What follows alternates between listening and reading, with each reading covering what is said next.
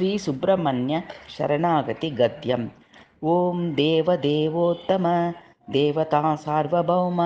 अखिलाण्डकोटिब्रह्माण्डनायक भगवते महापुरुषाय ईशात्मजाय गौरीपुत्राय अनेककोटितेजोमयरूपाय सुब्रह्मण्याय अग्रिवायुगङ्गाधराय शरवणभवाय कार्तिकेयाय षण्मुखाय स्कन्दाय षडच्चरस्वरूपाय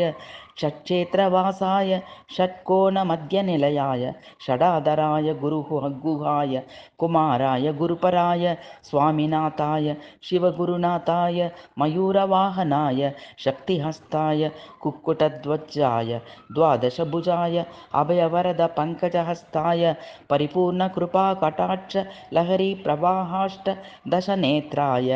नारदागस्त्यव्यासादिमुनिगणवदि वन्दिताय सकलदेवासेनासमूहपरिवृत्ताय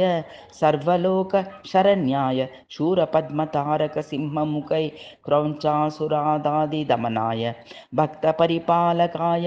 सुरराजवन्दिताय देवसेनामनोहराय नम्बिराजवन्दाय सुन्दरवल्लीवाञ्छितार्थमनमोहनाय योगाय योगाधिपतये शान्ताय शान्तरूपिणे शिवाय शिवनन्दनाय षष्टिप्रियाय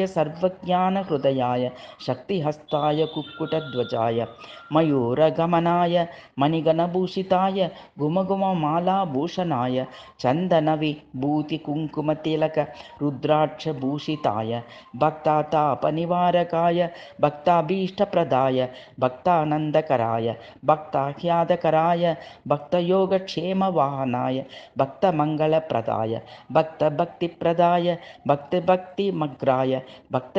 भक्तचिन्तामणे वल्लीदेवसेना शिवशक्तिगणेशशास्ता आञ्जनेयमहाविष्णुमहालक्ष्मी नववीरसोदरसमेत अतिशय अपारकारुणामूर्तये तव कमलामृदुल